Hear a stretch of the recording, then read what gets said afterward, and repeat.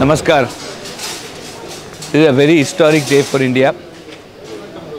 The Honorable Prime Minister today has given a very clear direction of how to build Viksit Bharat 2047 as we move towards the 100th year of his independence.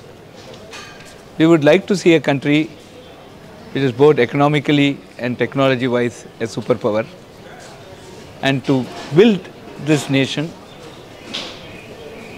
the real stakeholders would be the youth.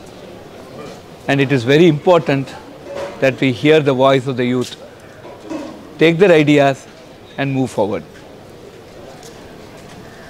In this world's largest democracy, our Honorable PM has taken this very important step today to encourage the youth across India to give their ideas of what should be Viksit Bharat 2047. In Tamil Nadu at the Raj Bhavan, we had a very detailed discussion about what are the important factors that are going to guide this very important journey.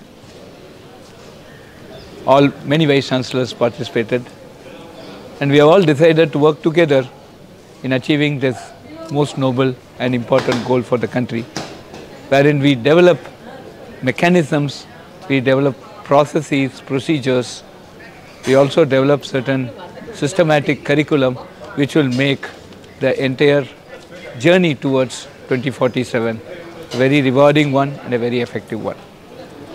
We thank the Honorable Prime Minister for this very important initiative, the Ministry of Education and Niti Aayog for putting this program together. And I am sure this has been a real eye-opener and also a real motivating factor for us to work together to see a technologically and economically superpower India. Thank you.